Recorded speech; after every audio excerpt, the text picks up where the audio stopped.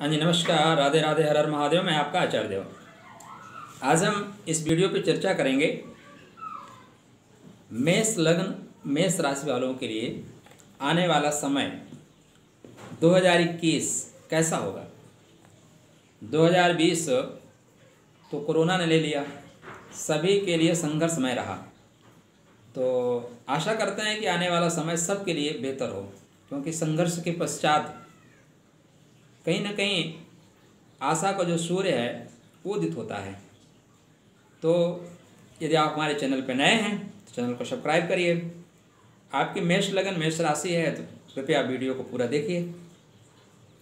आपके मेष लगन और मेष राशि में एक वर्ष तक ग्रहों का गोचर और आपके ऊपर उन, आपके ऊपर उन रश्मियों का प्रभाव कहाँ पे सकारात्मक कहाँ पे थोड़ा सा नकारात्मक? कौन कौन सी रेज को कनेक्ट करना है? कौन कौन सी रेज को डिस्कनेक्ट करना है? इसी पे हमारी आज की चर्चा होगी। तो कोशिश करिए कि वीडियो पूरा देखिए। कहाँ पे आपके मतलब की बात आ जाए, कहाँ से आप स्किप कर दें तो मतलब की बात छूट जाएगी। तो जो नया वर्ष आ रहा है, ये पुष्ट नक्षत्र में, शनि के नक्षत्र में आ रहा है और मेष लगन के लिए निश्चित रूप से योगकारी है। योगकारी होने के पीछे दो कारण हैं, ठीक है ना? एक तो शनि इनके कर्म भाव में स्वग्रही चल रहा है और लग्न में मंगल है, ठीक है ना? तो दो दो योग बने हुए हैं। सस योग बना हुआ है, रुचक नामक महायोग बना हुआ है। दो दो योग से इस कुंडली की स्टार्टिंग हो रही है। तो अश्विनी, भरणी, कृतिका, इन तीन नक्षत्रों का योग लेके ये मेष राशि चलती है। देखिए, लग्न और राशि दोनों एक साथ मैं प्रोटेक्ट कर रहा हूँ तो आप अपने अपने राशि और लग्न दोनों को साथ मान के चलिएगा। तो चू, चे, चो, लाली, ली, लू, ले, लो, आ, ये इसके शब्द अक्षर आएँगे। अगर इन पे आपका नाम पड़ रहा है तो आपकी मेष राशि है। लग्न भी आप प्रतिदिन का देख सकते हैं, मैंने आप ये जान सकते हैं आप किस लगन में पैदा हुए हैं। उसकी भी चर्चा करेंगे। तो स्टार्टिंग करते हैं मेष लग्न, मेष राशि का आने वाला वर्ष 2021 कैसा होगा? तो आपके लिए मंगल में शुभकामना कि आपका जो स्टार्टिंग है बहुत अच्छा हो रहा है। आपके लग्न में ही, आपके लग्न के लाड मंगल स्थित हैं। माने प्राइम मिनिस्टर अपने ऑफ़िस में ही है। तो ये आपके लिए सबसे बेहतर होगा। बहुत कम ऐसा अवसर आता है कि आपके लग्न का लाड स्टार्टिंग में ही आपके लग्न में बैठा हो। तो आपके लिए योग प्रद ग्रह जो है, नए वर्ष की स्टार्टिंग करा रहा है। अब आपकी जब लग्न स्टार्ट हो रही है नए साल में तो मंगल लगभग चार डिग्री के आसपास, साढ़े तीन डिग्री के आसपास उस समय आ भी रहा है। तो स्टार्टिंग से फलप्रद होगा, फल देने वाला होगा। आपके अंदर कुछ विशिष्ट चीज़ें हैं। कुछ अच्छाइयाँ हैं, लेकिन कुछ नकारात्मक चीज़ों को भी लेके आप चल रहे हैं। तो अपनी विशेषताओं को और कमियों दोनों को जानना आपके लिए आवश्यक है। तो मेष लग्न और मेष राशि। पहली चीज़ तो ये जान लीजिए कि आपके अंदर कमियाँ क्या क्या हैं। क्योंकि जब तक हम अपने कमी को नहीं जानते, तब तक उन पर सुधार संभव नहीं है। तो आप बहुत अच्छे व्यक्ति हैं। एक अच्छी पर्सनालिटी आपके पास है। और कमांड करना आपको अच्छा आता है। दुनिया में जितने कमांडर होते हैं, जो लोग इतिहास रचते हैं, वो उन लगनों में से एक लगन आपकी है। रिजिट नेचर है। रिजिट होना कोई दिक्कत नहीं है। दुनिया में रिजिट लोग ही कुछ कर पाते हैं और ढुलमुल चलने वाले कुछ नहीं कर पाते। तो इस व्यक्तित्व को लेके आपके जन्मे हुए हैं, लेकिन आपके अंदर जो सबसे बड़ा अवगुण है, जल्दबाजी का। उतावलापन, एक शब्द आता है उतावलापन। तो मेष लग्न, उतावली लगन होती है। और, हर समस्या का समाधान आप मारपीट करके निकालना चाहते हैं। क्योंकि सेनापति की लगन है, और सेनापति लगन में विद्यमान है तो ऐसे लोगों को लगता है कि बातचीत करके समस्या का समाधान ना करके दो दो हाथ करके समस्या का समाधान करना ज़्यादा उचित होगा। तो ये आपकी एक निगेटिविटी है। तो उतावलेपन से बचें। और हर समस्या का समाधान मारपीट करके निकाला जा सके, इस विचारधारा से भी बचें। आपका पंचमेश जो है, सूर्य है। बुद्धि चातुर्य आपके पास व्यापक मात्रा में है। नवम भाव का प्रतिनिधित्व आपके कुंडली में गुरुदेव कर रहे हैं। तो अगर आप पंचमेश नौमेश का संपर्क बना सकें तो आपको संसार में आगे बढ़ने से दुनिया की कोई शक्ति रोक नहीं सकती। वैसे भी, यह वर्ष आपके लिए निश्चित रूप से सफलता लेकर आने वाला है। सफलता लेकर ही आएगा। सफलता आपको मिलनी सुनिश्चित है।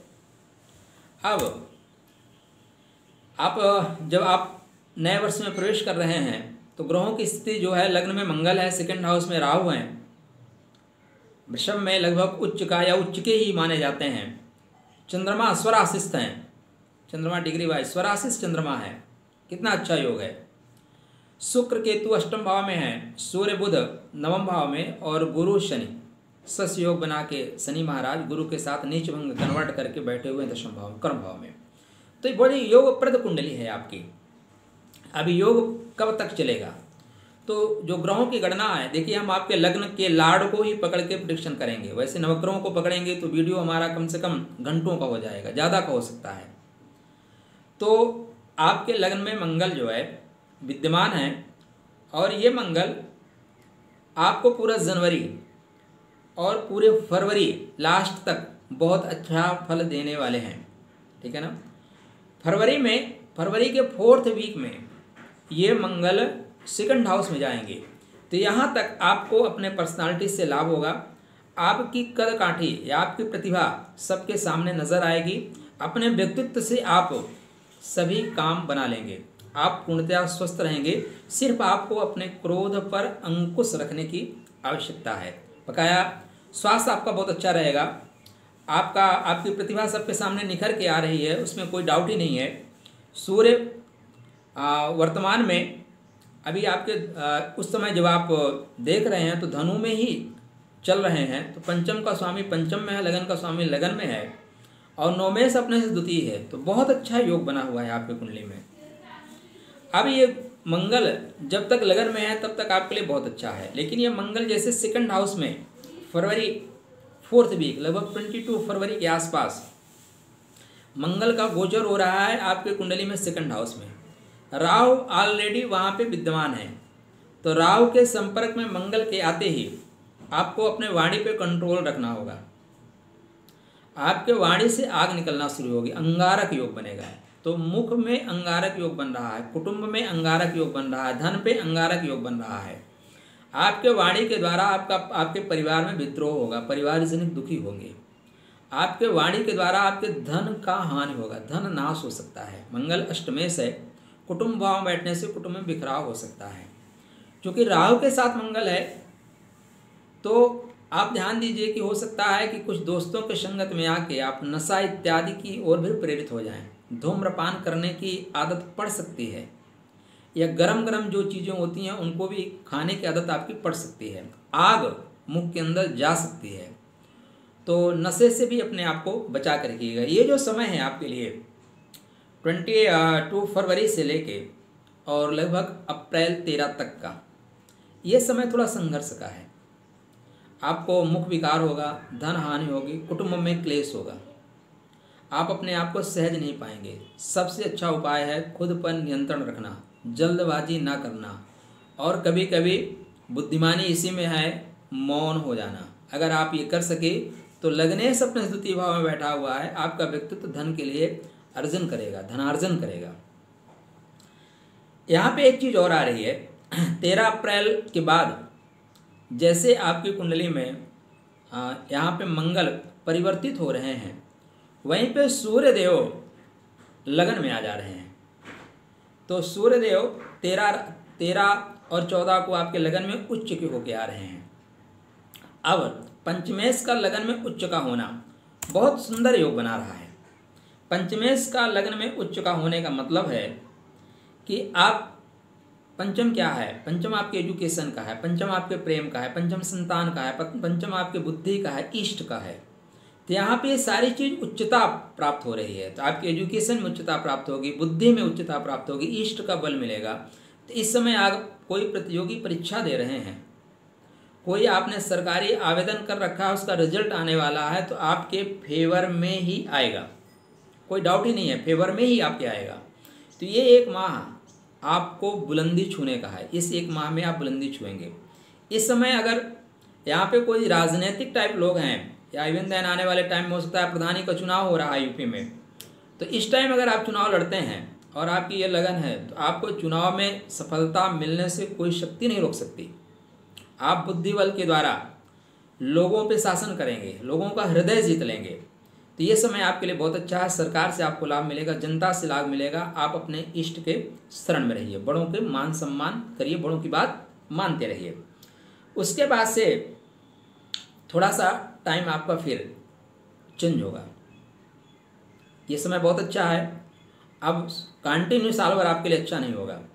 दो जून से लेके और जुलाई फोर्थ वीक तक थर्ड वीक लास्ट तक, आपके मंगल जो है फोर्थ हाउस में जा रहे हैं। और जो मंगल का फोर्थ हाउस में जाना, माने निम्न के हो जाना। और मंगल यहाँ अष्टमेश हैं। तो मंगल को नीच का दोष या निम्न का दोष? राधे राधे, जहाँ खुद को भी लगेगा, वहीं माता के लिए भी थोड़ा कष्टकारी है। अब, अगर आपके कुंडली में मंगल नीच का है और सॉरी आपकी कुंडली में चंद्रमा नीच के हैं, कुंडली में, और यहाँ पे मंगल का मूवमेंट अष्टमेश का चतुर्थ भाव में मूवमेंट या मंगल आपके कहीं खराब चंद्रमा आपके खराब पोजीशन में है तो ये समय आपके माता के स्वास्थ्य के लिए निश्चित रूप से हानिकारक होगा। माँ के स्वास्थ्य का विशेष ख्याल रखें, आपके घर में तनावपूर्ण माहौल क्रिएट होगा। घर में तनावपूर्ण माहौल क्रिएट होगा तो पहले से सावधानी रखें कि तनाव ना आने पाए। अब इसके पश्चात आप देखें तो 20 जुलाई से लेकर 6 सितंबर तक मंगल आपके पंचम भाव में होंगे। तो पंचम भाव में लग्नेश का पंचम में जाना राधे राधे है। हर तरह से आपको सफलता देने वाला होगा। हर तरह से आपको सफलता देने वाला होगा। बुद्धि बल, शारीरिक बल, मानसिक बल, लोगों का प्रेम, लोगों का स्नेह, सब कुछ आपको इतना ज़्यादा मात्रा में मिलेगा या बहुत इजीली आप प्राप्त कर सकते हैं। तो आपकी अगर कोई परीक्षाएँ हैं, आप सफलता प्राप्त कर लेंगे। आप कहीं नौकरी का आवेदन किए हैं तो यहाँ पर सफलता प्राप्त होगी, क्योंकि इसकी सप्तम दृष्टि आय भाव पर है। सप्तम दृष्टि आय भाव पर है और चतुर्थ दृष्टि जो है इसकी अपने ही राशि पे रहेगी। तो यहाँ आपके लिए सब कुछ बहुत अच्छा रहेगा। उसके पश्चात आप देखें तो फिर ये मंगल छठवें भाव में जाएगा। अब यहाँ का जो मंगल जो छठवें भाव में जाएगा तो आपके लिए परेशानी देने वाला होगा। क्या परेशानी देगा? आप बात बात पे झगड़ना शुरू करेंगे बात बात पे लड़ना शुरू करेंगे। रोग भी आपके शरीर में आ सकता है, रक्त विकार आपको हो सकता है, इसलिए सावधानी रखें। ठीक है ना? बाईस अक्टूबर के बाद लेकर चार दिसंबर मंगल सातवें घर में रहेगा। सातवें घर का मंगल निश्चित रूप से मांगलिक योग का निर्माण करेगा। अब चूँकि लग्नेश है, अपने घर को सप्तम दृष्टि से देख रहा है इसलिए बहुत अच्छा है। चतुर्दृष्टि से कर्म भाव पे उच्च की दृष्टि है। बहुत अच्छा है। अष्टम दृष्टि से धन भाव को देख रहा है तो अच्छा है। तो सप्तमेश पे कोई आपसी तालमेल ना बिगड़ने पाए। संशय ना आने पाए, क्योंकि सेकंड हाउस में राहु है, संशय भी दे सकता है। अगर संशय आप नहीं आने दिए, तालमेल नहीं बिगड़ने दिए तो ये जो मंगल का मूवमेंट है निश्चित रूप से आपके कर्मपथ पे विस्तार देने वाला है। कर्मपथ पे चतुर्दृष्टि है। सरकार से लाभ होगा। नौकरी में लाभ होगा। अगर आपने कहीं आवेदन कर रखा है तो ये जो समय है, आपको सफलता देने वाला होगा। इसके बाद दिसंबर से लेके लास्ट में फिर मंगल का मूवमेंट अष्टम भाव में जाएगा। तो आपके लिए अच्छा क्या है कि मंगल का पूरा मूवमेंट मेष लगन से लेकर वृश्चिक लगन तक ही पूरे वर्ष में हो रहा है। ये सबसे अच्छी बात है। तो ये जो अष्टम भाव में जाएगा स्वग्रही मंगल है। यहाँ पे नेगेटिविटी नहीं देगा, लेकिन हाँ थोड़ा सा लगने इसका अष्टम भाव में जाना सारी, शरीर को थोड़ा कष्ट हो सकता है। हम्म? केतु ऑलरेडी विद्यमान है तो केतु गुप्त रोग देता है। तो पायल्स इत्यादि की परेशानी आपको हो सकती है। तो कृपया अपने सेहत का ध्यान रखें। ये मंगल का मूवमेंट था, क्योंकि लगन को और राशि को हम पकड़ रखे हैं। अब यहाँ पे आपके कुंडली में जो बड़े प्लेनेट हैं, शनि का मूवमेंट लगभग मकर में ही है। कुछ क्षण के लिए कुंभ में जाएँगे फिर वापस मकर में आएँगे। तो शनि आपके कुंडली में बेहतर फल देने के लिए दृढ़ संकल्प हैं। वो बेहतर फल ही देंगे। ठीक है ना? अभी शनि का मोमेंट जो है ट्वेंटी थर्ड मई को वक्री होंगे। ठीक है ना? ट्वेंटी थर्ड हाँ को वक्री होंगे। फिर मार्गी अक्टूबर में मार्गी हो रहे हैं। तो शनि को जो मूवमेंट है फिर छः अप्रैल के बाद कुंभ में जा रहे हैं फिर वा, वापस मकर में आ, नहीं। हाँ तो ये कुंभ और मकर में ही इनका शनि का गोचर हो रहा है। तो ये दोनों तरह से आपको लाभ ही देने वाले हैं। वैसे भी शनि का मूवमेंट इस समय मकर में है, लेकिन शनि फल किसका दे रहे हैं? कुंभ का। तो आफ्टर मई, शनि निश्चित रूप से आपके कर्म पथ का विस्तार देंगे। आने वाले पंद्रह माह आपके जीवन को बदलने वाले होंगे। सरकार से हंड्रेड परसेंट सफलता मिलने वाली है। ठीक है ना? क्योंकि भाग्येश भी आपके कर्म भाव में ही गोचर कर रहे हैं। तो मेष लगन वालों को आने वर्ष, आने वाला वर्ष, अगर आप सरकारी नौकरी या नौकरी के क्षेत्र में तैयारी कर रहे हैं तो आपको सफलता देने के लिए कृत संकल्प है, बस उत्तिष्ठ जागृत। आप उठिए, जागिए, कर्मपथ पे आगे बढ़िए, क्योंकि शनि कर्मपथ पे गोचर कर रहा है और शनि कहता है मेहनत करो। आपके पराक्रम का स्वामी भाग्य भाव में बैठा हुआ है यही बोल रहा है कि अगर आपने भाग्य किया तो मैं आपको चमका दूँगा। बुधादित्य योग लेके बैठा हुआ है। वो बोल रहा है, आपको चमका दूँगा, लेकिन मेहनत तो करो। तो आपके कर्म भाव में गुरु और शनि की उपस्थिति, नवमेश की कर्म भाव में उपस्थित, कर्मेश की कर्म भाव में उपस्थित। तो आपके कर्म को भाग्य का सहारा तो मिल रहा है, लेकिन कर्म में थोड़ा सा आप जो है संकल्प लेके आगे बढ़िए। कर्म में थोड़ी ढिलाई आप ना बरतें। तो ये आपके लिए अच्छा होगा। गुरु का जो मूवमेंट है छः अप्रैल को छः अप्रैल के बाद कुंभ में जाते हुए प्रतीत हो रहे हैं। और, फिर उसके बाद फिर ये वक्री हो जाएँगे, फिर वापस आ जाएँगे मकर में। तो वक्री भी होंगे तो आपके लिए लाभकारी हैं। एकादश में अगर नौमेश वक्री भी हो रहा है तो आपके लिए लाभकारी तीन गुना फल देने वाला है।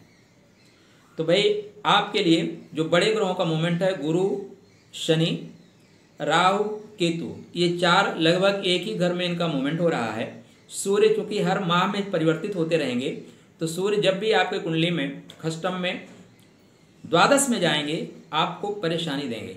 याद रखिएगा तो अपने चिंतन पर ध्यान रखिएगा, विचारधारा पर ध्यान रखिएगा, वाणी पर कंट्रोल रखिएगा, कोई काम सोच समझ के करिएगा। बकाया सूर्य का मोमेंट कहीं भी होगा, आपको फल देने वाला ही होगा। सूर्य निम्न के भी होंगे तो पराक्रम में होंगे, पराक्रम आप करेंगे। बुद्धि आपकी पराक्रम करवाएगी। और बकाया चार ग्रहों का मोमेंट नहीं हो रहा है, राहु, केतु, गुरु और शनि, ये आपस में घूम रहे हैं। चंद्रमा चूँकि ढाई तीन दिन में परिवर्तित हो रहा है, बुध सूर्य के आसपास ही रहेगा। तो ये था मेष लगन, मेष राशि वालों के लिए आने वाला वर्ष कैसा रहेगा। उपाय के तौर पे जहाँ पे जहाँ पे आपको परेशानी आ रही है, अपने पंचमेश को और अपने नौमेश को मज़बूत करें। अपने पंचमेश और नौमेश की आराधना करें।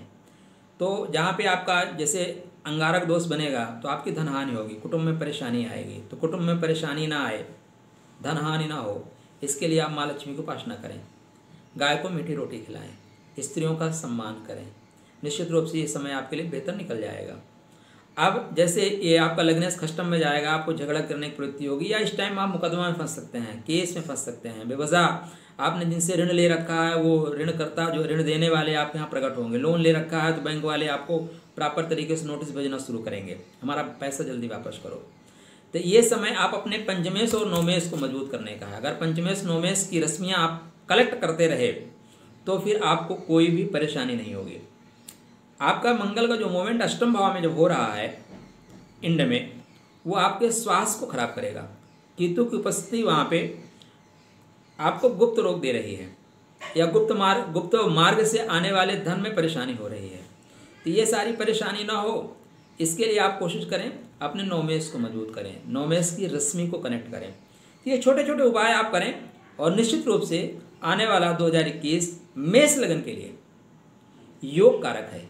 क्योंकि आपके लगन का लाड योग में ही आपको नए वर्ष में प्रवेश कर रहा है। शनि आपका सस नामक योग बना के बैठा हुआ है। गुरु नीच भंग राजयोग बना के बैठे हुए हैं। तो आपके लिए 2021 निश्चित रूप से सफलता देने वाला है। तो आपके लिए मंगल में शुभकामना। राधे राधे।